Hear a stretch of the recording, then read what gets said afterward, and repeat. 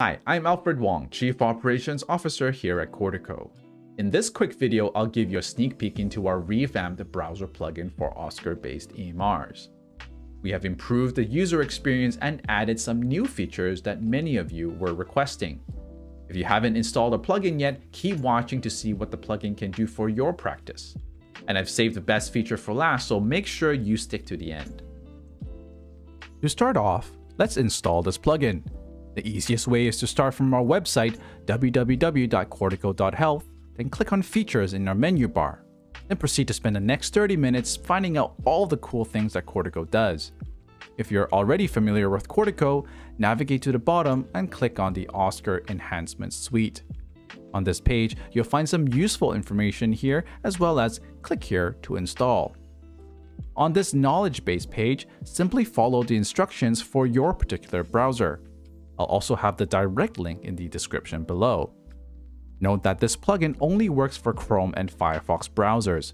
Please also update your browser to the latest browser version to avoid any compatibility issues.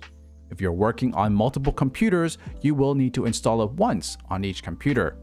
But don't worry, some of the automation features like canned responses are set per clinic, so you don't have to recreate those.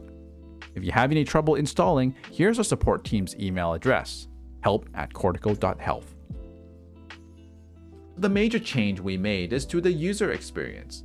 The browser plugin no longer opens as a sidebar. Instead, it is now contained into this icon here on the bottom right. Clicking on it expands the widget and shows the features that you are accustomed to. You can minimize this widget back into an icon and move it around, which is particularly useful for those who have other third-party Oscar scripts we have also organized it a little bit better to accommodate some of the upcoming features in our roadmap. Under Automation, we have the Bulk tool to validate MSP eligibility for appointments for the current day.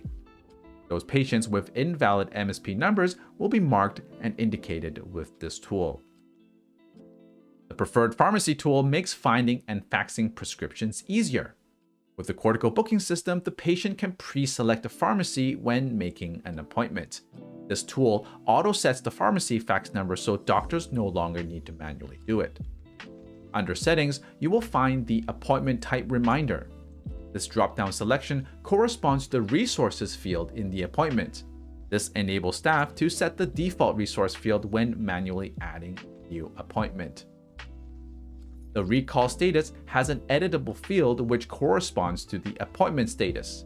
When you add and save into this field, it will automatically add a button to all matching appointment types. This button launches your default mail application with the patient's email attached and a message about their upcoming appointment repopulated into the body of the email. Another time-saving feature is this small icon here with three dots, and it shows up for every appointment.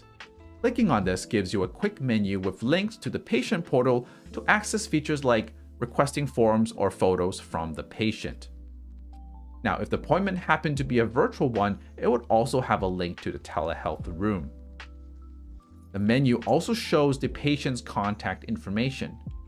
A quick tip here, if you have a VoIP system installed on your computer, clicking on the phone number will immediately launch that application to call the patient. And as promised, I've saved the best feature for last. We have a full built-in patient messaging system that allows you to securely send email and documents to the patient and having those messages saved into the encounter notes. Here's how it works. In the encounter screen, an email patient widget shows up in the bottom right. Clicking on this widget opens up the messaging interface with the patient's email auto-populated can click on the plus icon here to auto-populate the body of the message with a canned response. If you want the message to be saved into the encounter notes, check this box here and press send. Send documents and navigate to the documents page. Identify the document that you want to send to the patient and click on the PT icon here. In the messaging interface, you will see the paperclip icon with the document name. This indicates that the file is attached to the email message. When the patient receives the email, the file is not directly attached to the email. Instead, it is provided as an encrypted link that they open on their computer for extra privacy and security.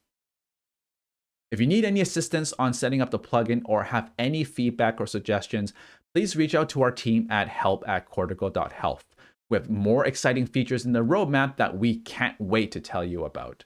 Thanks for watching.